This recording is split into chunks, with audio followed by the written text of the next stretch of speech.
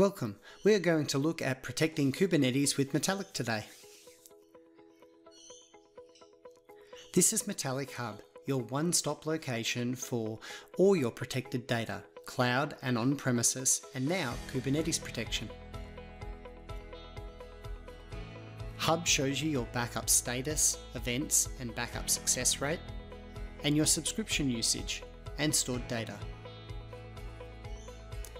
Let's add a new configuration. Select the Kubernetes option to get started.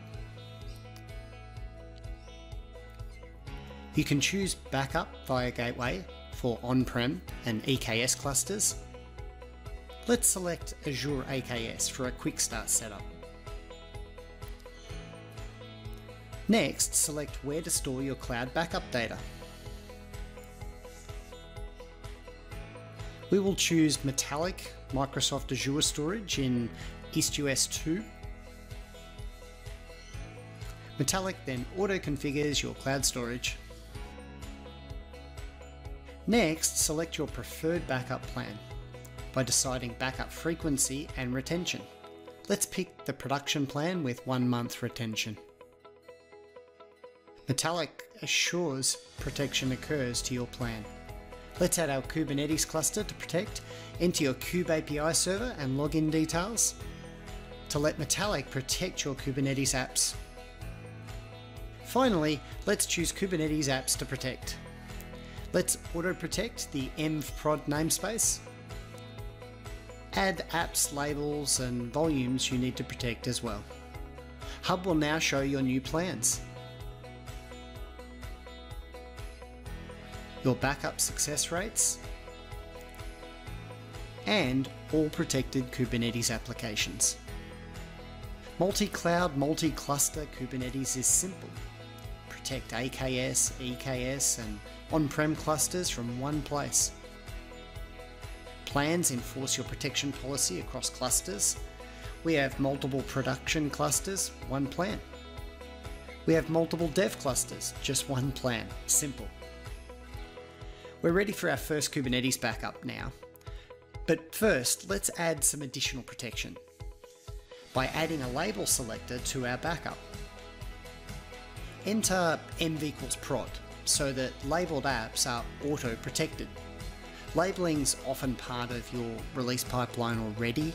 Metallic will auto detect label apps now, meaning you won't miss important apps.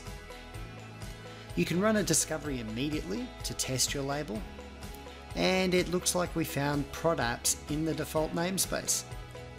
Let's go and run our first ad hoc backup now. Click Backup. Metallic's now copying app manifests and data to your backup storage. Okay, now we have a backup, let's run a restore.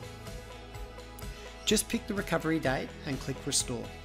You can restore persistent volumes and data, application manifests or YAML files, or full apps, which includes both YAML and volumes.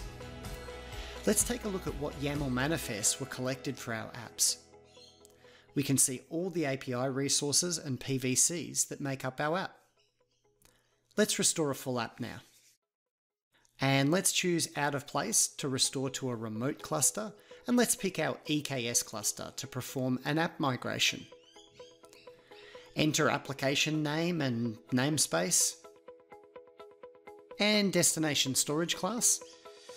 Application recovery and migrations now underway. And when completed, the app will be running in the remote cluster. Our remote cluster shows our app was started in Amazon EKS.